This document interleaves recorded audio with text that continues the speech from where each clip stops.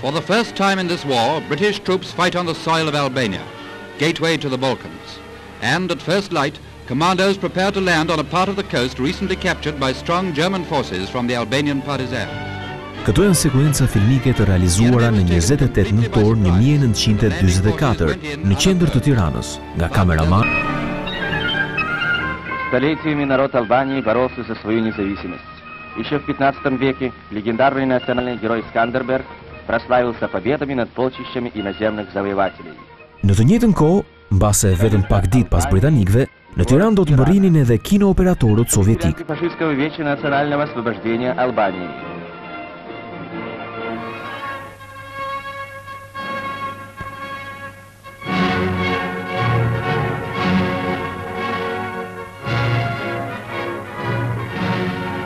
Banorët e Tiranës duartrokin general kolonel Enver Hoxhën, Autorësinë e kameramanëve sovjetikë ka edhe ky material filmik që ka fiksuar një paradë të realizuar në 10 korrik të vitit 1945 me rastin e dy vjetorit të krijimit të ushtrisë shqiptare. Kjo datë është bërë festë kombëtare. Me këta ushtarë, shokët e tij të luftës, të njësitit partizan që formoi në Pezë, Enver Hoxha luftoi deri në ditët e lumtura kur edhe batalioni i fundit gjerman u dëbua nga Shqipëria. Është i njëjti material që gabimisht, por shpesh, përdoret për të ilustruar Paradën e Çlirimit të datës njëzet e tetë nëntor një mijë e nëntëqind e dyzet e katër në Tiranë. Ushtria Parakalon me madhështi para tribunës.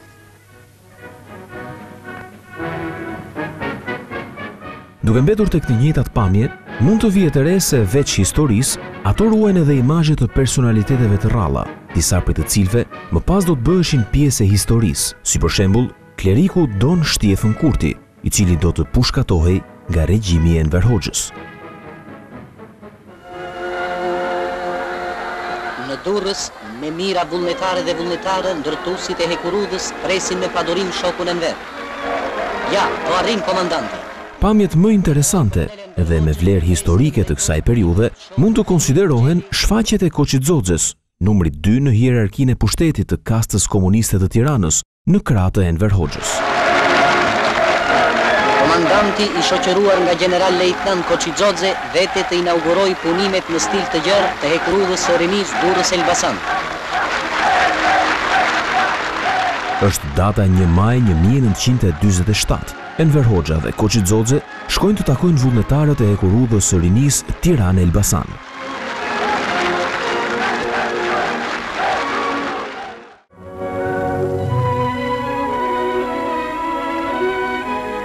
Kryetari i qeverisë shqiptare Enver Hoxha dhe anëtarët e delegacionit panë monumentet historike të Kremlinit vepra madhështore të arkitektëve rusë. Në vitin një mijë e nëntëqind e dyzet e shtatë, kur ishte në kulmin e shkëlqimit dhe pushtetit të tij si i preferuar i jugosllavëve, Koçi Xoxe është filmuar sërish nga kameramanët sovjetikë, duke shëtitur në rrugët e Moskës Në kuadër të një vizite qeveritare.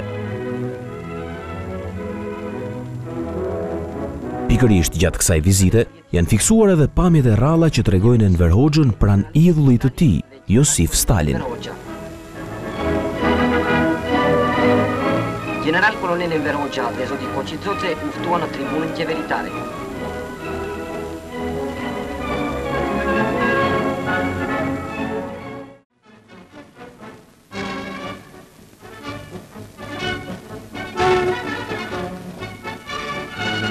Aerodromi Vnukovo Delegacionin qeveritar të Republikës Popullore të Shqipërisë që arriti në Moskë, e presin.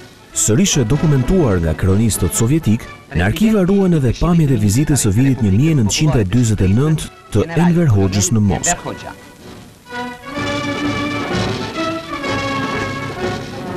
Anëtarë të delegacionit qeveritar shqiptar. Koçi Xoxe mungon. Pak muaj më parë, i shpallur tradhtar, ai ishte pushkatuar si agjent i revizionistëve jugosllavë.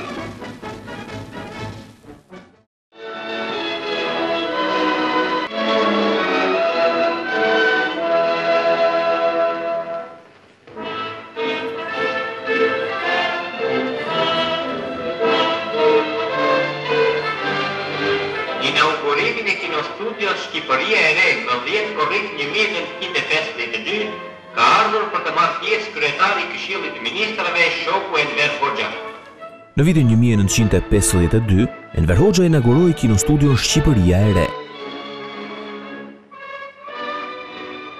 Që nga kjo kohë mund thuhet se prodhimet kishin autorësinë e kameramanëve dhe gazetarëve shqiptarë.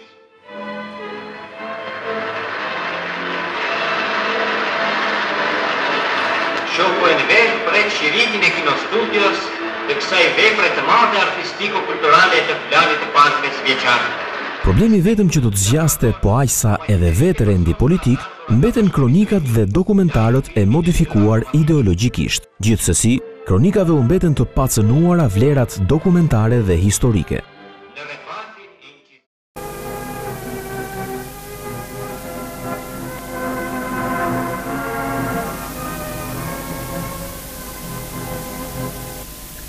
Komiteti Qendror i Partisë së Punës të Shqipërisë Këshilli i Ministrave i Republikës Popullore të Shqipërisë dhe Prezidiumi i Kuvendit Popullor. Këto janë pamje të rralla të ceremonisë që Enver Hoxha organizoi në qendër të Tiranës në gjashtë mars një mijë e nëntëqind e pesëdhjetë e tre, një ditë pas vdekjes së Josif Stalinit.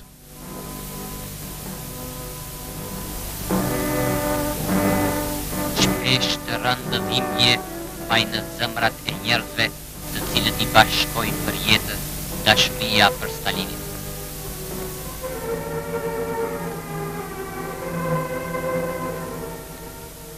Sa të jetë jeta, i paharruar do të mbetet kujtimi i Josif Visarionoviç Stalinit. Pas vitit një mijë e nëntëqind e dyzet e nëntë, kronikat më të rëndësishme televizive, Sërish kanë lidhje me Bashkimin Sovjetik.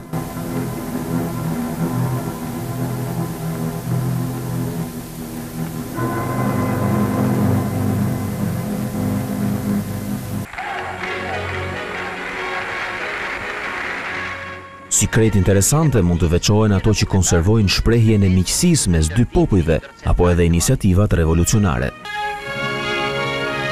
Në shembullin e Bashkimit Sovjetik, Për të parën herë në Shqipëri filloi lëvizja stakanoviste.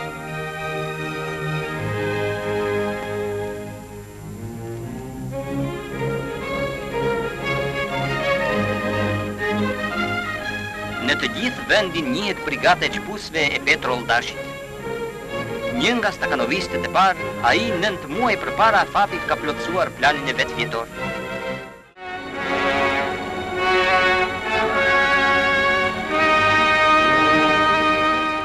Nga viti 1954, ruhet edhe kronika e gjyqit ndaj një grupi që ishte desantuar në Shqipëri nga Amerikanët dhe Britanikët, me qëllim krijimin e kushteve të favorshme për rrëzimin e pushtetit të Enver Hoxhës. Në shërbim të imperializmit Amerikan.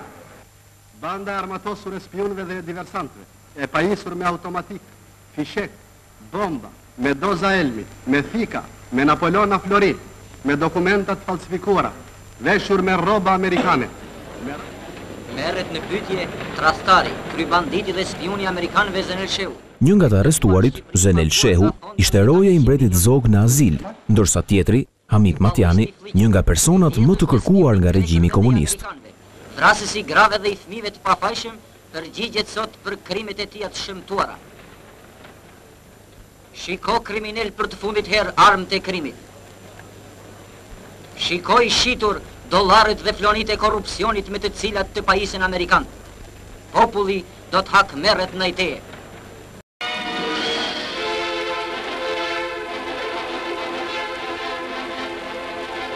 Përshëndetje të zjarrta shokut tonë të shtrenjtë Nikita Sergejeviç Hrushovit.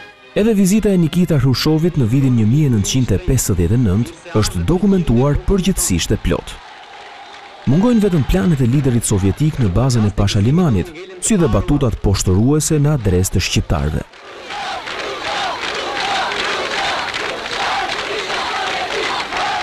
Edhe gëzimi i punëtorëve të kombinatit është shumë i madh, sepse ata në këtë ditë i treguan shokut Hrushov se mundimi dhe durimi i njerëzve sovjetikë nuk ka shkuar kot. Por nga ana tjetër, nuk mungojnë pamjet që vërtetojnë se Enver Hoxha qëllimisht duhet të ketë organizuar një miting, ku Hrushovi të fliste nën hijen e Stalinit, paraardhësit në pushtet, të cilin ndërkohë e kishte damkosur si autoritar dhe kasap. Kjo qe një ditë e madhe gëzimi që do të ngelet e paharruar.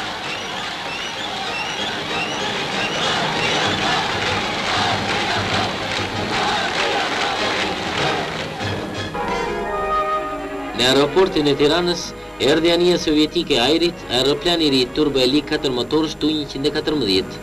Ky aeroplan është ndërtuar nga një kolektiv ndërtuesish me akademikun e njohur Tupolev në krye. Gjithsesi, deri në vitin një mijë e nëntëqind e gjashtëdhjetë, gjithçka mes dy vendeve do të shkonte më së miri. Një distancë prej tre mijë e pesëqind kilometrash nga Moska në Tiranë, ajo e kreu në tre orë dhe pesëmbëdhjetë minuta. Gjigandi sovjetik i ajrit, është titulluar kronika e mbërritjes në Rinas të një avioni sovjetik pasagjerësh që listohej si më i madhi dhe më i shpejti i kësaj periudhe kohore. Për pasagjerët, në aeroplan janë krijuar kondita të mira udhëtimi.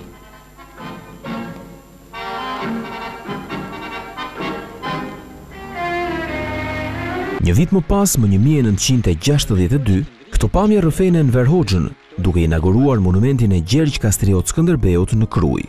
Nuk është çudi që kjo ngjarje të ketë pasur lidhje me largimin e komunistëve shqiptarë nga idhujt e stepave sovjetikë dhe rikthimin tek idhujt kombëtarë. Në të njëjtin vit, kur ndihmat ekonomike nga Bashkimi Sovjetik nuk vinin më, në Durrës kronikanët kanë fiksuar prodhimin me sukses të makinave shirëse Made in Albania. Problemet e ndërlikuara teknike të përgatitjes së pjesëve përbërëse të makinës u zgjidhën njëra pas tjetrës në sajë të një pune të gjatë, këmbëngulëse me durim, të gjithë punonjësve të uzinës.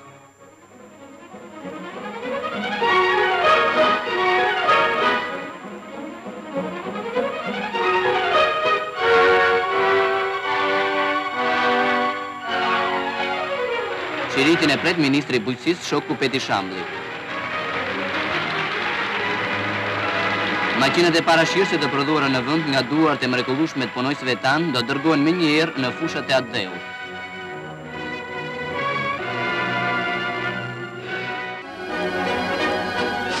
Shoku Manush Myftiu dhe personalitete të tjera të kryeqytetit, në mes të një atmosfere revolucionare, i dorëzoi të ngarkuarit me punë ad interim të Republikës Popullore të Kinës në Republikën Popullore të Shqipërisë, Lin Tin Cjuan, tekstin e mesazhit që populli i Tiranës i drejton popullit të madh kinez.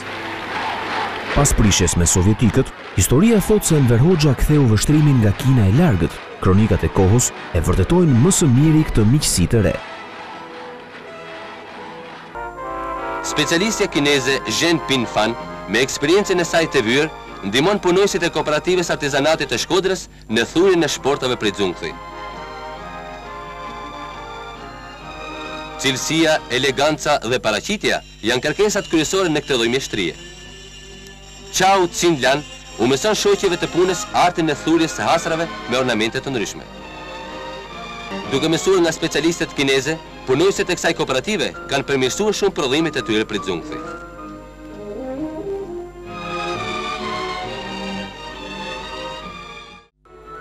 Së bashku me punonjësit e Kooperativës Bujqësore të Laknasit në rrethin e Tiranës, kanë ardhur të punojnë edhe personeli i Ambasadës së Republikës Popullore të Kinës. Ambasadori Xu Jin-guo dhe punonjës të tjerë të Ambasadës punuan për përgatitjen e farës dhe mbjelljet. Pjesëmarrja e shokëve kinezë në këtë fushatë të rëndësishme është shprehje e miqësisë midis dy popujve tanë vëllezër. Ashtu si gjithë klasa punëtore e vendit tonë, edhe punëtorët e Kombinatit të Tekstileve Stalin janë mbledhur për të shprehur solidaritetin e tyre me punëtorët revolucionarë të Shangait.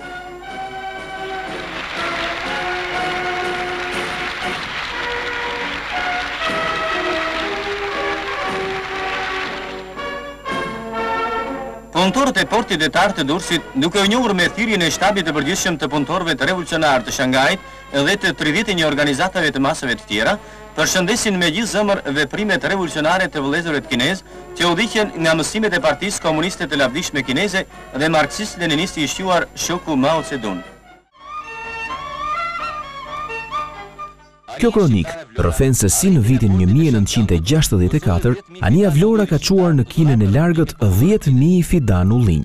Inxhinieri Ilia Nako dhe specialisti Bedri Lumani priten me përzemërsi nga punonjësit kinezë.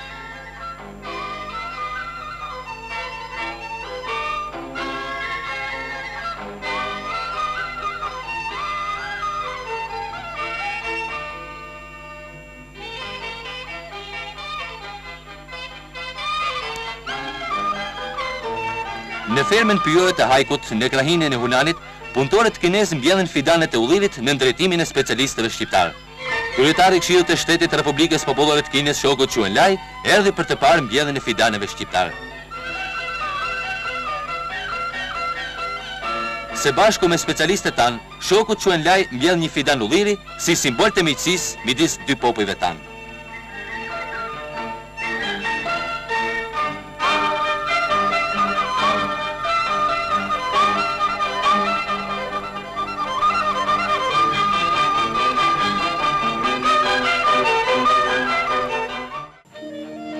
Vapori kinez You Hao solli në vendin tonë kontigjentin e dytë fidaneve të bambusë.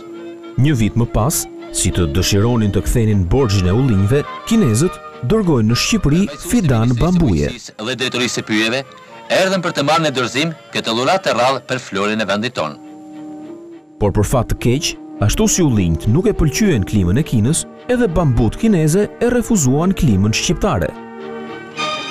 Bima bambu rritet në zonat me klimë të nxehtë tropikale të Republikës Popullore të Kinës.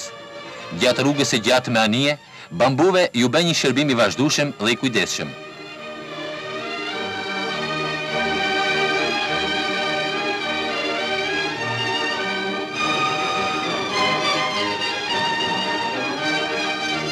Specialistët kinezë dhe punonjësit tanë të pyjeve, pas eksperimenteve mendojnë se në fushat e Sarandës me klimë të ngrohtë, do të lindin vatrat e para për kultivimin e kësaj bime të vlefshme.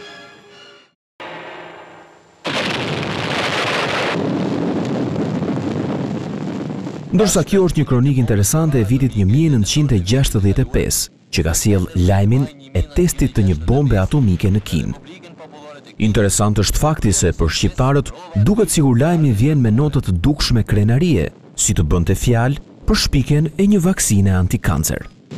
Këto fitore të mëdha të shkencës dhe teknikës u përshëndetën me entuziazëm nga popujt e botës si realizime të shkëlqyera të popullit të talentuar kinez. Provat me sukses të bombave atomike kineze janë një kontribut i rëndësishëm për forcimin e paqes në botë. Ato thyejnë monopolin bërthamor imperialisto-revizionist dhe rrisin fuqinë mbrojtëse të Republikës Popullore të Kinës dhe gjithë kampit socialist.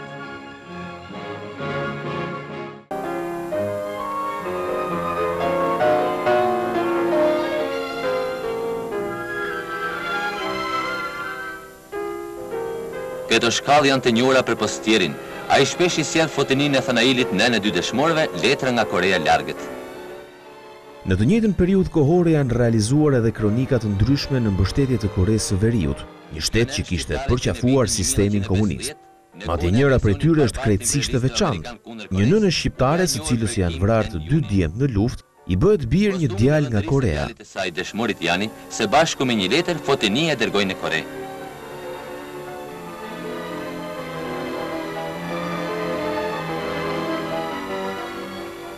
Ato i ranë në dorë të riut gjashtëmbëdhjetë vjeçar Kim Denjun, e që atëherë midis të riut pa prindër dhe nënës pa fëmijë u krijua një familje e re. Dhe ja nëna djali dhe nusja. Tirana kryeqytet i Shqipërisë socialiste. Kim Den Hyuk dhe nusja e pëlqejnë shumë qytetin ku banon nëna e tyre.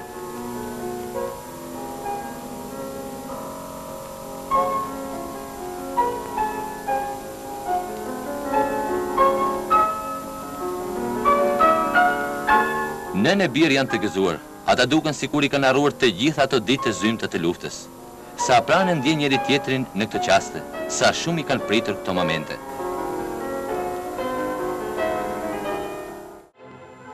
Por në këtë kohë kronika të transmetueshme ishin edhe ato që rrëfenin demonstratat anti-amerikane në Korenë e Jugut. Shpesh demonstratat e studentëve dhe banorëve të Seulit, kryeqytet i Koresë së Jugut, Kthehen në përleshje me policinë.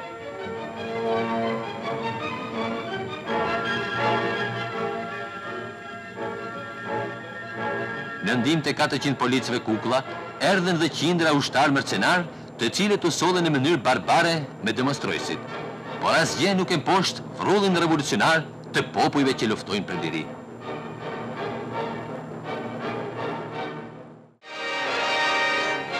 Populli heroik i Vietnamit, prej afro njëmbëdhjetë vjetësh ka rrokur armët kundër armikut më të egër të njerëzimit, imperializmit amerikan. Në të njëjtën periudhë kohore, kronika të ndryshme kishin në qendër edhe luftën në Vietnam. Kombinatit të Tekstileve Stalin, në fushatën e solidaritetit të madh të popullit tonë me Vietnamin heroik, i bënë një pritje të ngrohtë dhe entuziaste delegacionit të Shoqatës së Punonjësve për Çlirimin e Vietnamit të Jugut, Të kryesuar nga Huan Bich Son, anëtar i Komitetit Qendror të Frontit Kombëtar të Vietnamit të Jugut. Në të katër anët e vendit tonë, organizohen mitingje e proteste kundër agresorëve amerikanë që rrisin veprimet kriminale ndaj popullit heroik të Vietnamit. Kronikat kanë fiksuar edhe pamje të protestave në fshatrat shqiptarë kundër agresorëve amerikanë në Vietnam. Kundër banditëve amerikanë të ajrit, të cilët bombardojnë egërsisht krahinet e ndryshme të Republikës Demokratike të Vietnamit. Edhe punonjësit e ndërmarrjes së përpunimit të naftës në qytetin Stalin, me zemërim dënojnë veprimet kriminale të agresorëve amerikanë.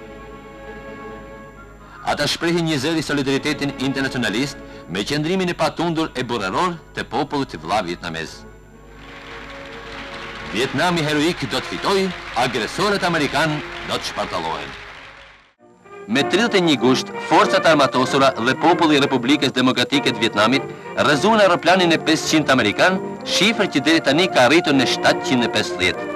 Këto janë fitore të shkëlqyera të popullit vietnamez në luftën e tij heroike kundër banditëve amerikanë të ajrit.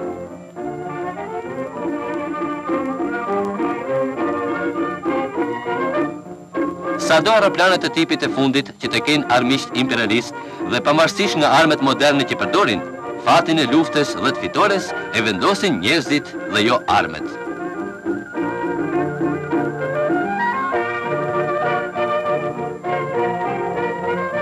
Populli vietnamez po provon se epërsia ajrore që mburret aq shumë Johnsoni u asgjësua. Fitorja e fundit i takon popullit heroik të Vietnamit.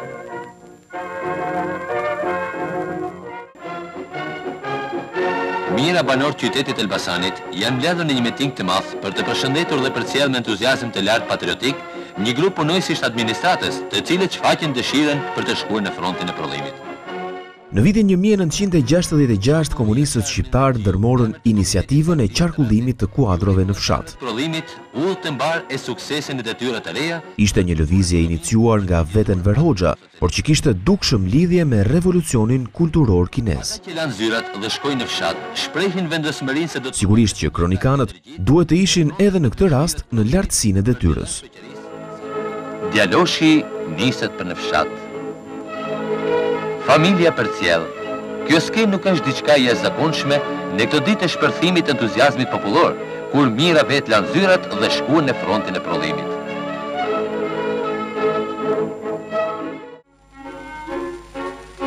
Tërë populli është ngritur në këmbë në luftën kundër fesë dhe zakoneve prapanike. Në vitin 1967, sërish nën influencën e revolucionit kulturor kinez, Enver Hoxha do të niste një tjetër aksion. Duke ngritur në këmbë propagandën, lëvizja u konsiderua si nismë e popullit kundër zakoneve prapanike dhe atyre fetare. Krahas punës, një luftë e madhe bëhet kundër zakoneve prapanike. Një zakon i tillë ekzistonte edhe tek blegtorët e fshatit Andon Poçi. Ky fëmijë që ende i këndojnë Nina Nana është dhëndër. Prindërit e kanë fejuar me këtë vajzë që tani në djep. Por këta barinj të frymëzuar nga fjala e shokut Enver, mbajtur me gjashtë shkurt në disa organizata bazë të partisë, mbi revolucionarizimin e mëtejshëm të partisë dhe pushtetit, e shkatërruan këtë të keqe, përkrahën të renë përparimtare. Dëmi më i madh iu shkaktua fesë dhe besimit fetar. I ulët antikombëtar i teqesë së Sukës rrëmbyen kazmat.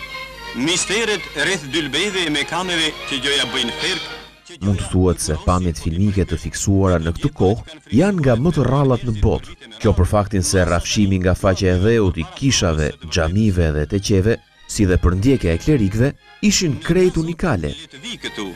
Nëse mekami bën ferk, le ta bëjë tani kur ne jo vetëm po e prekim, por kur po ia shkulim rrënjët. Ky është një duf i papërmbajtur që shpërtheu në kohën e duhur, një duf që varros të vjetrën për të afirmuar të renë, që çkallmon tempujt e një ideologjie të gënjeshtërt.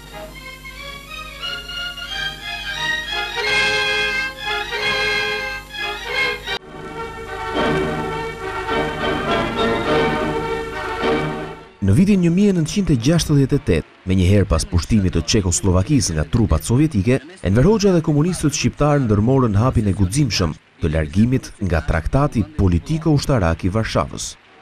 Kronika filmike ka fiksuar kryeministrin Mehmet Shehu të shpallte vendimin. Shokë deputetë, Ky sesion i Kuvendit Popullor u thirr me kërkesën e Qeverisë,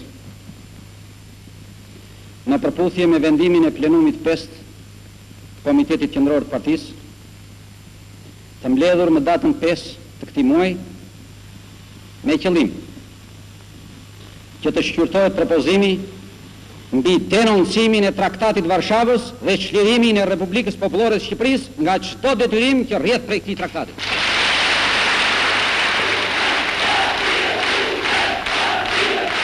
Gjatë vitit 1968, në celuloid është fiksuar edhe një detaj i rëndësishëm, sikur menjëherë pas daljes nga Traktati i Varshavës të jepte një shenjë tjetër të largimit nga ndikimi i huaj, Enver Hoxha zhvendos shtatoren e Stalinit nga qendra e Tiranës, duke e zëvendësuar me atë të Gjergj Kastriot Skënderbeut.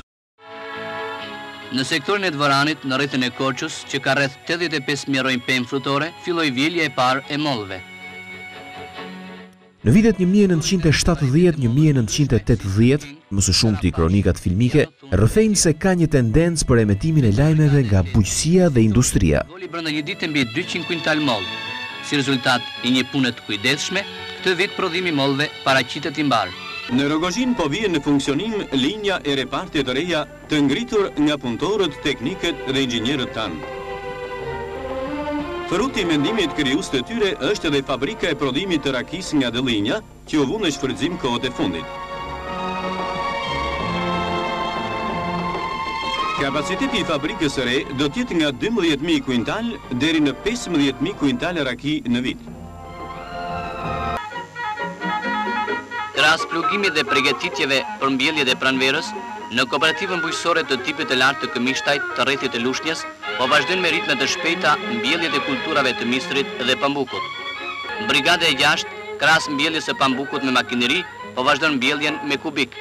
Kjo lloj mbjellje që po përdoret pas një eksperience të gjatë në parcelat eksperimentale, krijon disa avantazhe, si në sigurimin e më shumë bimëve për hektar, hershmërinë prej njëzet e pesë ditësh dhe më kryesorja ndikon shumë në rritjen e rendimentit dhe në cilësinë e prodhimit të pambukut. Vallë, çfarë e ka shtyrë kooperativistin tetëdhjetë vjeçar Spiro Karoqja nga Vëria për të ardhur sot në fshatin Fqi Vajkan? Ja edhe një kronikë për ndoshta njeriun më të moshuar në Shqipëri. Sot, ai vjen për të takuar mikun njëqind e njëzet vjeçar, Xhemal Alla, një nga pleqtë më të vjetër të rrethit të Fierit. Me gjithë moshën e kaluar, Xhemali mbahet mirë dhe asnjëherë nuk është ankuar nga ndonjë sëmundje. Interesant është fakti se diku tentohet të nxirret edhe sekreti i jetëgjatësisë. Gjatë gjithë jetës ai nuk ka përdorur pije alkoolike,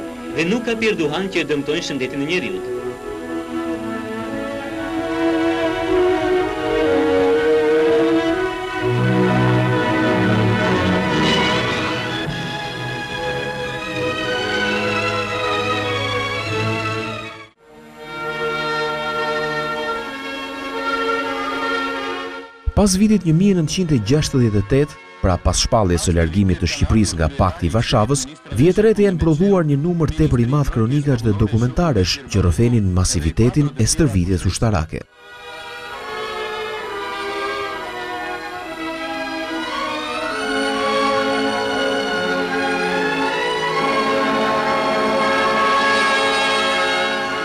Pamjet tregojnë gjithë popullin në stërvitje, gratë, pleqtë, por edhe fëmijët. vullneti, partishmëria e lartë për zbatimin e detyrave, stërvitja këmbëngulëse dhe përpjekjet për të zbuluar rrugë të reja e për të kaluar kufijtë e sukseseve të arritura janë bërë veti e të gjithë ushtarëve. Në rast se do ta kërkojë atdheu, ata do të lënë librat, do të rreshtohen në pozicione përkrah prindërve, vëllezërve dhe motrave të tyre.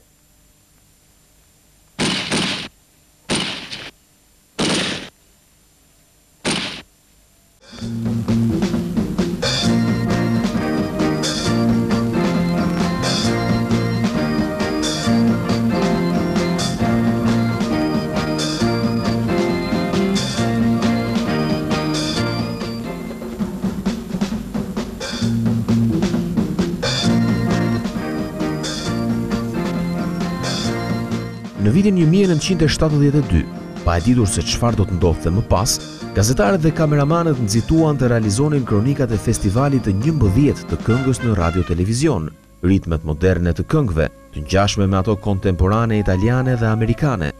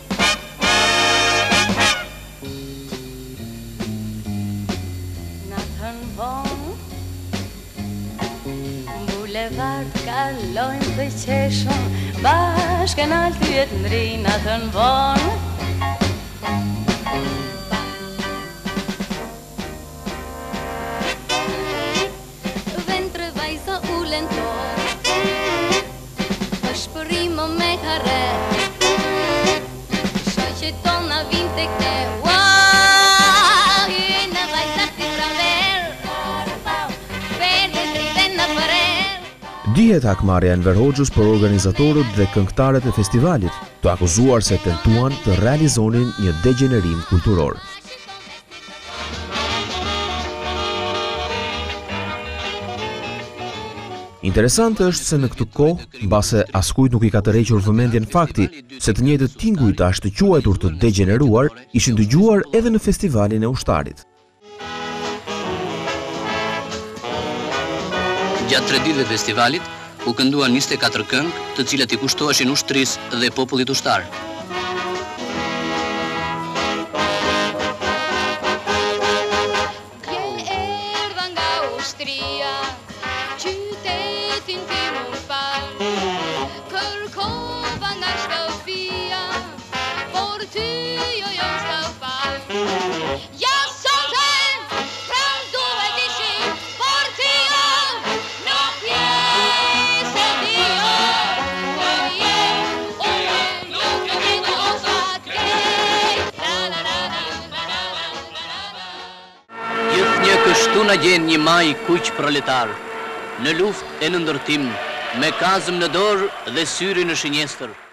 Sigurisht që në kronikat filmike të komunizmit, shumica e energjive dhe mjeteve shkonin për të pasqyruar evenimentet politike. Të parët dhe më të pranishmit duhet të ishin gjithmonë drejtuesit më të lartë komunistë të vendit.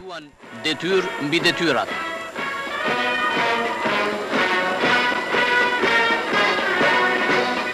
Kush prek Shqipërinë, gjen vdekjen e sigurt.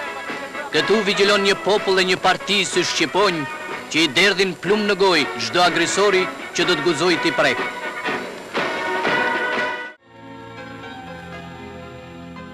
Pas vitit një mijë e nëntëqind e tetëdhjetë, në arkiva janë ruajtur edhe kronika më të këndshme dhe ndonjëherë jo krejt të zakonta për sistemin. Ministria e Industrisë së Lehtë dhe Ushqimore. Në këtë konkurs konkurruan 18 rrethe me rreth 208 mostra vere dhe rakie. Mbi bazën e dhënave të nxjerrjes së gjithë analizave, juria klasifikon verërat e cilësisë më të lartë dhe nderon me medaljen e artë kantinën e verës Durrës, duke çmuar njëkohësisht atë të Pogradecit, Përmetit e të tjera.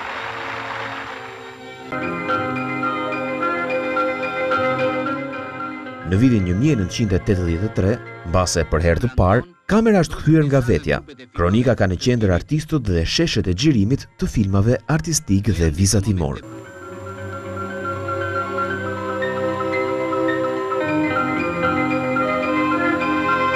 Këto episode të filmit artistik Dora e Ngrohtë, xhirohen në një kantier të njohur pune në portin e Durrësit.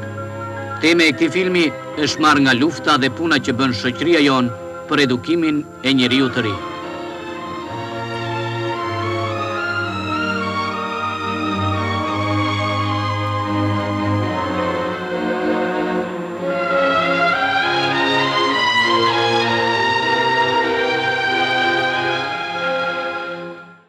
Dy Tomorë balli te qielli njëri mal tjetri përmbi mal Enveri.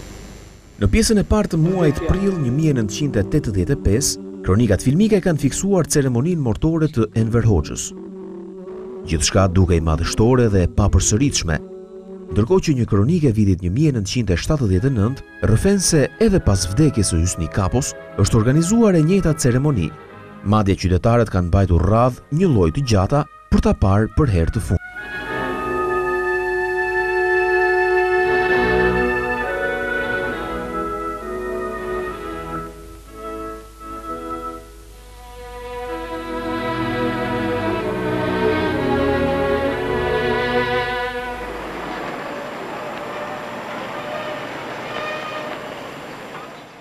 Ja dhe kronika e ndërtimit të Piramidës apo Muzeut të Enver Hoxhës.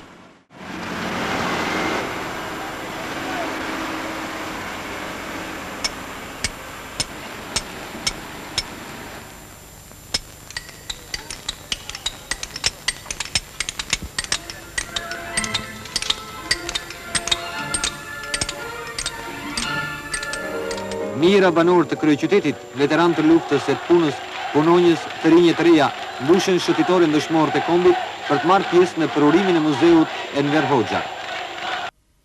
Një diçka e pazakontë sot në mëngjes në rrugët e Tiranës.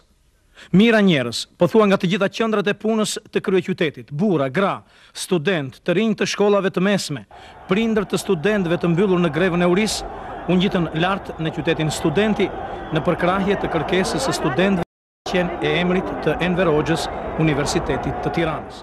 Edhe pse ky nuk është një vlerësim definitiv, kronika e rrëzimit të shtatores së Enver Hoxhës në qendër të Tiranës, në njëzet shkurt të vitit një mijë e nëntëqind e nëntëdhjetë e një, mund të quhet edhe kronika e fundit filmike e komunizmit shqiptar.